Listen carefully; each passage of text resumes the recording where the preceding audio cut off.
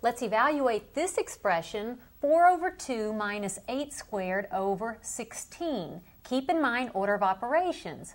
4 divided by 2 is 2 minus, now first we need to evaluate this expression in the numerator, 8 squared, because that's an exponential expression. 8 squared is 8 times 8, and that is 64 over 16. So let's see what we have now. 2 minus 64 over 16, or 64 divided by 16, is 4. So we have 2 minus 4. If you'd like, you can rewrite that as an equivalent addition. That would be 2 plus negative 4 if you rewrite it. And then how do I add two numbers with different signs? I subtract their absolute values. 4 minus 2 is 2, and I keep the sign of the number with a larger absolute value.